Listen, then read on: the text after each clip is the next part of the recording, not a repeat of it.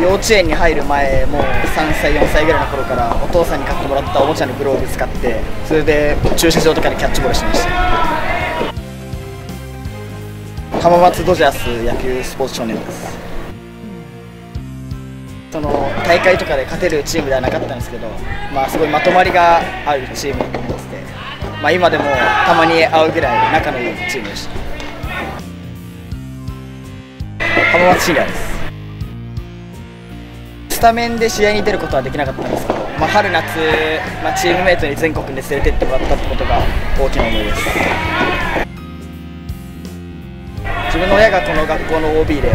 甲子園に行ってるってこともあって、まあ、自分もお父さんと一緒に甲子園に行きたいって思いで浜商を選びました。とても厳しい環境の中で切磋琢磨してるっていうのがすごい印象強かったです。去年の春の大会で、まあ、先輩たちと一緒に東海の準優勝まで行って、まあ、その時に自分的にも満足のいくような結果を残したってことが大きなことです。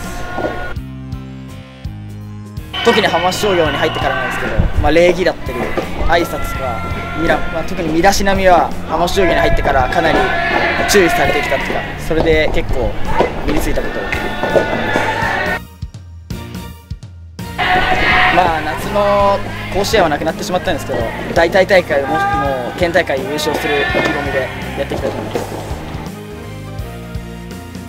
まあ、仮に自分の子供が野球をやるって言った時にまあ、その自分の息子にその甲子園に連れてってもらいたいっていうのが自分の夢です。